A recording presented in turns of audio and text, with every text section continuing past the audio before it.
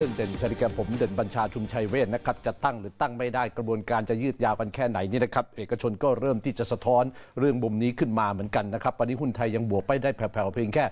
1.67 จุดนะครับเริ่มต้นจากมุมมองของคุณสนันอังอุบลกุลนะครับคือคุณสนันเนี่ยนะครับแกเป็นประธานกรรมการหอการค้าและสภาหอการค้าแห่งประเทศไทย บอกว่าตอนนี้เอกชนเนี่ย เขาให้น้ำหนักมากที่สุดคือขั้นตอนกระบวนการจัดตั้งรัฐบาลชุดใหม่นะครับ เพราะว่าอยากจะเห็นการจัดตั้งได้อย่างเรียบร้อย แล้วก็ไม่ยืดเยื้อ เพราะว่านโยบายต่างๆ ที่ทุกพักตกลงกันไว้ในบันทึกความเข้าใจวาระร่วมหรือว่า MOU เนี่ยสามารถนำไปทำได้จริงอย่างรวดเร็วอยู่แล้ว รวมไปถึงการเร่งจัดทำงบประมาณประจำปี 67 เพื่อให้แผนงานและโครงการต่างๆ นั้น สามารถขับเคลื่อนต่อไปได้ ไม่มีการหยุดชะงัก และพร้อมจะนัดหารือกับพักก้าวไกลในสัปดาห์หน้านะครับทางด้านของคุณสุรพงษ์ภัยศิษฐ์พัฒนพงศ์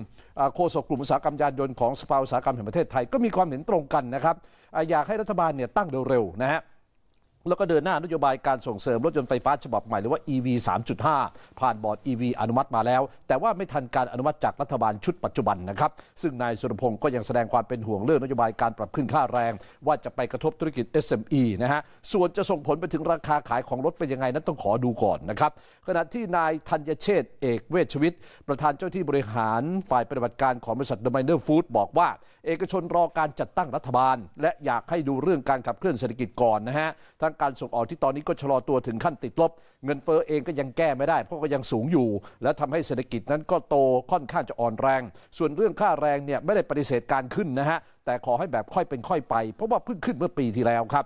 นายธัญเชษฐ์ยังพูดถึงทีมเศรษฐกิจว่าเป็นเรื่องสำคัญนะฮะต้องมีคนมีประสบการณ์เชี่ยวชาญผลักดันนโยบายต่างๆนะครับขณะที่วันนี้นี่นะครับธนาคารกสิกรไทยมองว่าการขึ้นค่าแรง 450 บาทต่อวัน ซึ่งเป็นนโยบายนี่นะครับอาจกระทบต่อการเคลื่อนย้ายการลงทุน และหากมีการเร่งเรื่องของรายได้มากขึ้น ก็จะเป็นแรงกดดันต่อเงินเฟ้อซึ่งจากข้อมูลก็พบอย่างนี้ครับว่าความสัมพันธ์ระหว่างรายได้กับเงินเฟ้อตอนนี้มีสูงถึงประมาณ 90%นะครับ หนึ่งใน 23 ข้อ